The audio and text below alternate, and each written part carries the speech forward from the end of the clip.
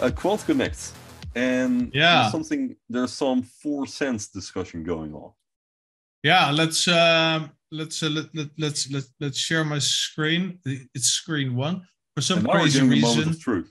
Is he going Zoom- to share his the correct his screen. Yeah, yeah. Yeah. Zoom I have- decided that my primary screen is screen two, while this is screen one, which is really fascinating to me. Anyway, um, I cannot zoom this in further, further. Um, Quant Connect. Quant Connect used to be the developer portal.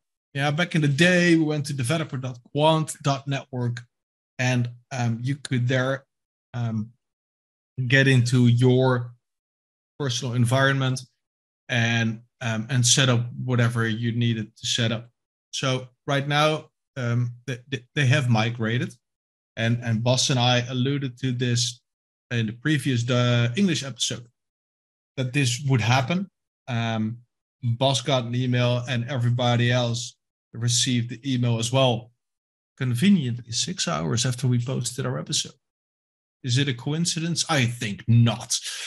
Uh, but maybe there was. Um, but we, we have a, a, and we spoke about this person in, uh, with Boss as well. We have a new uh, programming god, uh, Juanjo of Juanjo of Juanjo.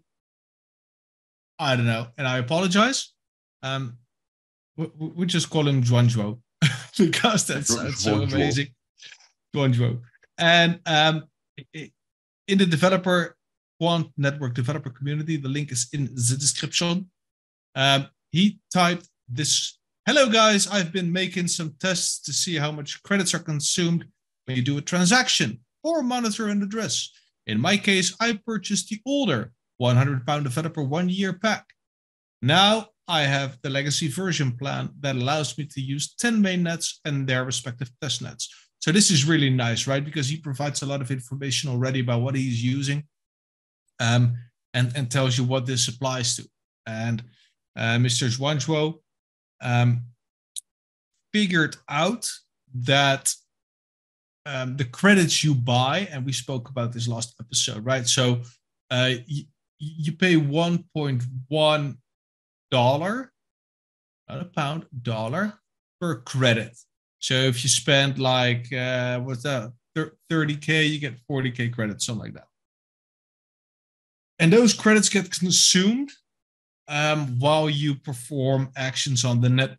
So it's kind of like a prepaid system, um, where, where you just buy a bunch. You can pay by by QNT. You can see that on the on the website. I'll show you some screenshots right here. So here it says, "Hi, Juanjo. My credits zero trial." It reads in the bottom at the right of, of that box. My plan legacy. There's remaining 358 he used 5.4 credits currently here. We go to the next thing. You can see here 30k credits cost you $33,000. So this is not a, a gateway license. This is not what a gateway operator pays. This is definitely um, bottom tier. And this is not a negative thing, but a bottom tier uh, enterprise license, right? Um, so if you start your crypto company, you want to create your token, um, and let's call it entry tier. This is just that's that's a little bit nicer. It means the same fucking thing, but don't don't want to be insulting people. Um, so you get a bunch of credits, right? 5k, 30k, or 15 uh, 15,000, and, and and you pay uh, accordingly. So these credits then get used on the network. And Tim asked actually in the preparation for this is this actually quant being consumed? And um, my thesis is that, it's not, that this is a very clever way for them to save costs. Because if you use your own little credit system, um, no pun intended, or aluminium hat insinuations, mind you, then, then then you can do on your own network whatever you want. And as soon as this runs out or prior, you do one single transaction to the Ethereum blockchain. rather than do all the microtransactions, which cost a lot of money. And Quant is all about efficiency and the cost saving. So I think that is what is going on. So um, if we click a little bit further, you can see here the discrepancies in what he has used. I'll go around that pretty quickly. Um, he said this is the balance I had before making a native transaction using OVL on the Avalanche Fuji testnet. This means I only sent AVAX, no smart contract interaction. After the transaction, it was up 0.04 credits, right? That was the screen that I shared earlier. So here it's 5.44. Here it reads 5.4, i.e., he consumed, used 0.04 credits which kind of boils down to one Overledger interaction in this case uh, equates to a four cent fee. And this is what he says as well. They give us a price of uh, $0.044 per transaction through OVL. Of course, these are prices that may or may not be final. The price of quant has varied these days, and I don't think the amount needed in QNTs have varied. We are still in the process of migration until the end of April, which is really important. Um, so for a smart contract invoke, we have the same credit consumption, 0.04 credits per transaction.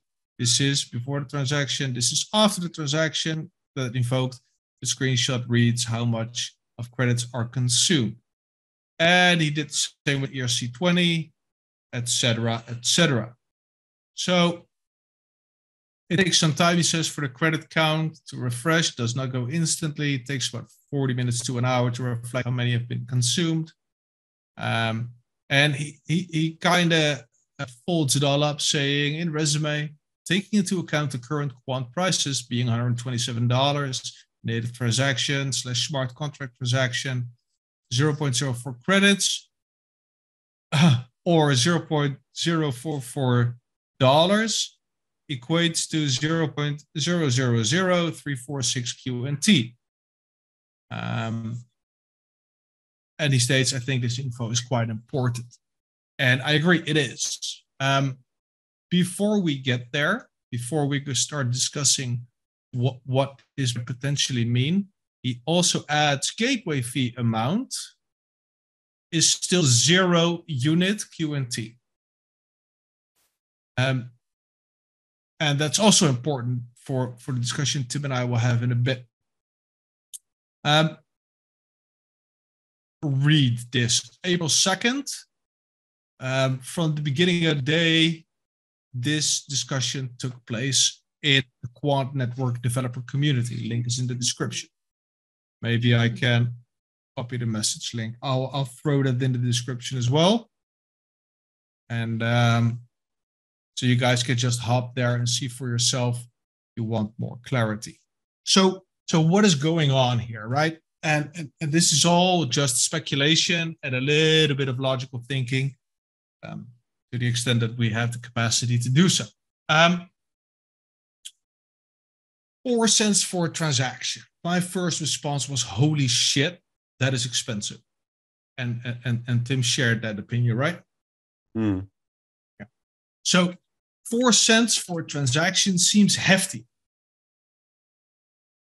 because, as Tim put it, okay, so if I sent 20 million transactions, I pay eight hundred thousand dollars in fees, and I was like, uh, yes, but in our entire lifetime we have not used the word the 20 million times. So 20 million transactions is a lot. And if a company is so big that it sends that it needs to send 20 million transactions, that means they make a lot of money. Yeah. And then the question arises, right? For what do you use Overledger? Do you use for everything? Do you use it only for the for the for the national critical infrastructure things? is it worth four cents? Um, and and for some perspective, I'll throw this up on the screen. Um, an email. If you go with an email marketing list thing, an email marketing list could cost between uh, 100 to 600 cost per mil. Um, and we Yeah. found another thing. If you want an email server, you, you pay an average of about oh misclick. Oh well. You, you pay like between two cents per email up to like 10k emails. And then it goes as low as zero point zero zero eight. So a little less than a cent per email.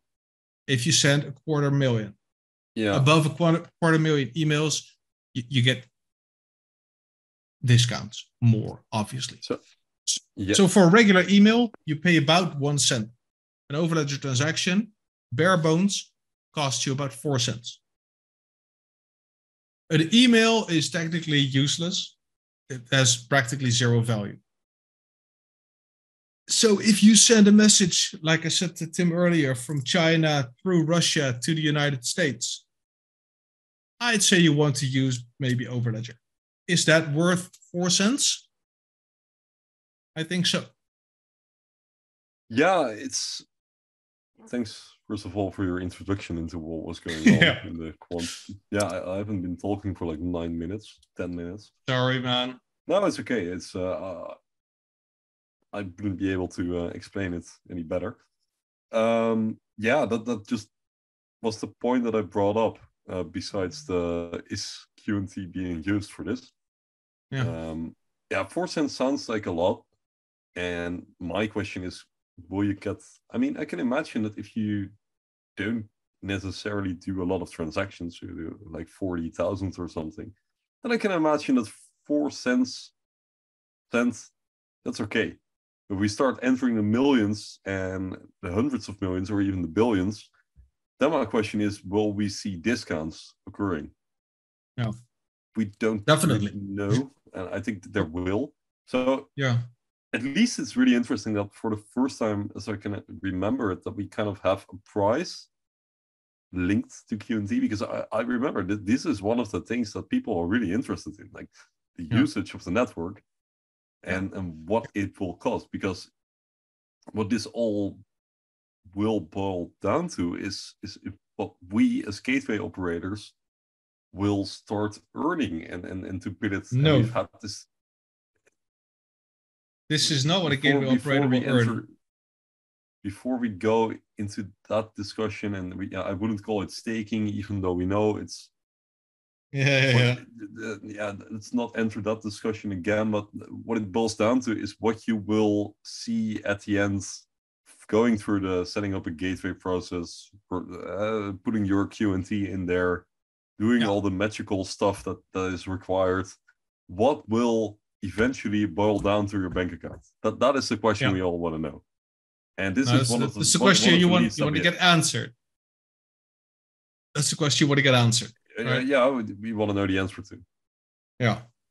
Uh, because So- that, that is ultimately interesting for us as regular people So what- QNT. What what we now what we now know is to use Overledger itself, right? The compute or the infrastructure and the security that comes with it. You pay four cents if you buy 40,000 credits, 30,000, something like that. So, that's that's an estimate for their service and and and, and a little bit of profit. Yeah, let's let's let's say they make uh, they make 30% or 50%, I don't know. So so so that's that's a cost they need to cover. And of course, companies can buy most likely plans that are either unlimited or whatnot. But those costs are there. Those costs need to be covered, right? Same as we're sitting here. I have three LED bars on my face, and I got my microphone on, and I got my my my my, power pack and my computer and all that stuff. And everything costs money, and costs need to be covered. Um, that that does not go away. So so we know that part, right? So they say four cents. Um, for us is, is is what we need want to keep to keep the light on for these things. Let's assume that that's correct. That does not include the use of the network. This is just their gateways, right? That's why the gateway fees are still zero. The quant gateways are still there. Yeah, they, they use these for the test net or for their clients. I don't know what is going on behind the scenes, obviously. But this will apparently cover their cost because the gateway fees are set to zero still, um, which is fine. But as soon as we enter the equation, then things get different. And, and, and arguably more expensive because the the 2020 information, eh, right? The information from back in year 2020 was that every gateway operator can can set their own fee, right? You can you can determine yourself how much you want to charge for a transaction. And yes, we can say I want 10 euros for a transaction, which is fine. You can ask. Just like in the real world, you can always ask. But the question is, will people pay? And the answer is most likely no, because there will be other people, and and and unless there's a lot of colluding going on, I don't see a transaction costing 20 euros anytime soon. Um, regardless, those fees need to be paid, and there will be a, a, routing algorithm or a routing algorithm for that in the future, no doubt, because there will be game theory, and there will be a way to to get the cost as low as possible. And there will be a yield that, that people will get and it will not be fixed. And it will be dependent on the quality of your gateway. It will be dependent maybe on your uptime but definitely on your reliability on the tier of your gateway which nodes do you run how many do you run um, etc so that will be added costs. And this is all speculation obviously and guessing because the information is three years old. There is a very good chance that um, within the overledger environment, let's say the United States can say, okay, we want to use the decentralization of the network because it adds resiliency, right? Adds consensus, um, adds all these wonderful things that DLT can provide. Um, and we need to get this message to China. So we want to use like 100 gateways for this type of transaction.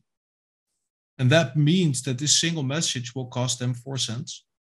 And this message could be, okay, let's send, let, let's send 10, 10 billion to China. I don't know. And uh, we want to do that message through 100 gateways, then they will have to pay a lot more than the four cents. Mm-hmm. If you're just sending a $100, you just use whatever it's called Venmo or PayPal, whatever. Nobody gives a crap. But if it's really, really important information or a really high number of value, you want to go with the resilient decentralized network. And then paying four cents to Quant plus one cent to Jarno, one cent to Tim, mm. um, etc. And then maybe you pay 10 euros for a transaction. I just looked on Uniswap if I swap ETH to QNT, I pay $13 euros. 13 for a transaction that they'll, they'll get me two and a half QNT. So, so, so what is expensive, right? It depends on what information is being sent. Are we talking medical information? Are we talking um, securities, maybe, right? On an, on an exchange? Are we talking about God knows what? Um, the, the necessity of the message getting across untampered will determine what people are willing to pay. And yes, there will be large differences, even right now. Um, why do people pay a lot of money to send things over Ethereum um, if they can just do it for what God knows how much cheaper on, on other chains? Um, so there will always be optionality there. And um, the gateway fees, nobody knows. We're, we're not there yet, um, but but that will be an an extra cost on top. There's no doubt. Definitely. They, they have to, and there's no overledger network without gateways, right? That is established. that has been confirmed by Gilbert over and over. Um, so, so, so we'll get there. And we have another piece of the puzzle right now saying we need four cents if you want to use our, our stuff, which is, uh, I think, uh, pretty amazing um, to have that breadcrumb. Yeah, it's it, it definitely is a breadcrumb. Um, and we'll see how this develops. Lost yeah. my uh, um, enthusiasm regarding trying to understand how um how I say in English um how special this is, if that makes any sense. Like mm-hmm. sure, it's really nice to hear this. Um, but we did did get tokenized last year, and then it took like eight months before we heard the second step. Mm. Yeah. so, uh, is is this it, or how long is the wait going to be? It definitely is interesting, nonetheless. Oh, so you know the trial. The, we, you know the yeah? tr- the trial ends in in in in in thirty days or sixty days, something like that. Okay. Yeah. Yeah, because we already knew that by the end of April, um, one of those things ended, and I believe there's a 60 day trial just in general. So it could very well be um, that, that, that we know this H1 um, where, where we are at. In the light of this, right, um, Galileo, you spoke about this earlier. Um, they are set to deploy their token when? Uh, on the sixth Thursday, sixth of April at two p.m. Yeah, so that's prior to Central release of this episode. Let yeah. us know how it went in the comments because they would have launched their token last Monday, um, but but that failed uh, for some reason. They postponed for uh, reasons unknown to us. Um, and then Tim asked a question, right? He's like, "Yeah, but they are dependent on quant," and that sent me on a, another tangent. Um, because yes, Galileo is dependent on quant, but that is also the reason how they could have gone how they could go to market so quickly. And and if we look around, right, everybody is doing this. Yeah. Even this Quamfy show is being recorded, not on my hard disk. I do have the capacity, I have the bandwidth, but I am also reliant on my internet provider. And if my internet provider fails, then this episode is kaput. If I upload it to the cloud, then Tim can keep the episode up. The recording doesn't stop. He just pauses it, and we can continue where we left off after my internet um, has, has, has come back. Has happened the hard way last year. Yeah, but it could, right? So there's a lot of benefits to using cloud in this case. Another example is for cloud gaming. If you're on Xbox Ultimate, you notice you do not need to, to download every single game if you want to try it. You can merely go onto their platform, choose for the cloud gaming solution. You can try the game out. And if you want it, you can still download it, no problem. But if you only have one terabytes of, of, of hard drive, that will fill up pretty quickly. Like one Horizon 5 4 game is already 120 gigs, which is crazy. I can remember that a, a floppy disk could contain a game. Anyway, game like Red Dead Redemption is already like 200 gigs. It's insane. My play, I'm yeah. on PlayStation, but yeah, it, it fills up so quickly. Yeah, and there's tons of people that don't even buy a gaming PC anymore. You can just rent compute as long as you have a decent internet connection. Yeah, then I mean, then then they will just render the game on the highest tier soft uh, hardware they can get, and they just send you the feed. You have a little bit of latency, right? That's the drawback. But yeah, you will not have to pay fucking three and a half thousand euros for a new computer. Yeah, you can still game at the highest settings by just I'm having really... a monitor and a crappy laptop or yeah. even on, on an Android phone if you if you desire to do so. I'm so, very curious how these cloud gaming solutions will develop. Um, Google Stadia is also one of the uh, yeah yeah one of the players in that field. In the future, you will own nothing and you'll be happy. That's where we're that's where we're heading, right? The service economy. Look outside my window here. There are three different brands of scooters electrical bicycles, sorry, electric bicycles, electric cars. You can just rent everything. You just walk up You tap your phone, you're logged in, and you're good to go. That's it. Yeah. No need to own a car, no need to own a scooter. And and and and and, and that's where we're heading.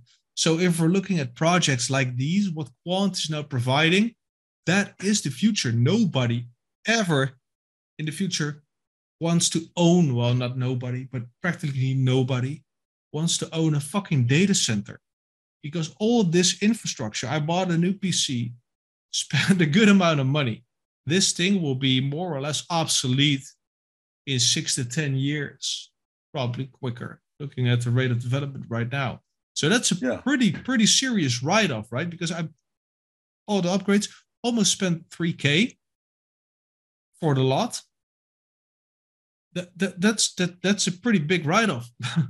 that's a lot of money. That's like uh, I'm not gonna But it, I'm gonna that, go that there. is I'll start- an interesting point. I mean, if you look definitely uh, at the development of technology, for for instance, and you, you go to you look at you would look at like the 1990s and the the, the, the zeros, um, because you brought up the point of computer uh, computers and computing.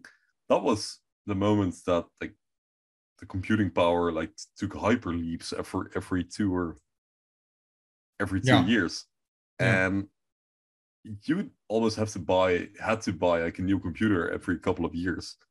Nowadays like a six or seven year old computer can still can still do can still work. You- we weren't necessarily happier back in the day. We just had to buy new stuff every every now and then because it would Yeah. be obsolete. But Yeah. what we are now switching into is like this this um, um, subscription economy where we don't well we do not necessarily own it anymore but you just pay an annual fee and it will get you the newest stuff i think the, the economy hasn't changed necessarily Okay, no. it's a much No, more that's- deeper fundamental discussion behind this and i wouldn't want to go No, it's an interesting discussion. I, I think it's things that's a really haven't changed point. that much if you think about it deeply No, no, That's how no. the uh, economy works. And it needs to, because well, we need Yeah. to keep Yeah. Yeah. making yeah. stuff. Yeah. Otherwise the Well- economy will, will will grind to a halt and then we're in a recession and everything is going down. So yeah. Sorry. No, no, no, no. It was a very, very good contribution. I think you're absolutely right. Um, but in the light of the point that we were making, so Galileo doesn't own all their shit; they're dependent on Quant. Yes. Um, and but th- that's the standard right now. Nobody wants to own a data center anymore. Nobody wants to rent server space if you don't have to.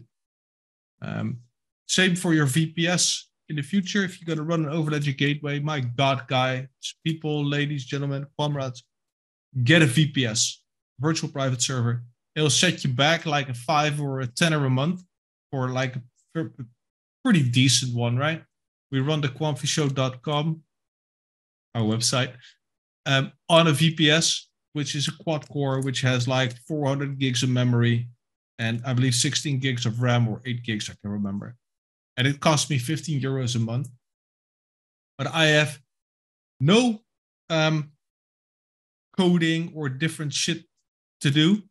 It updates like every day. I get an email. Your website just updated, which is wonderful. And they just take care of everything. If it needs to be migrated, they take care of it. Everything just works. My IP is not visible. You can choose if you want your own IP uh, because you share bandwidth now. For most applications, not relevant, it's not interesting. Um, it's not a problem.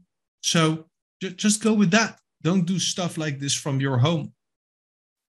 It, it, it will not save you money. It will not give you more control.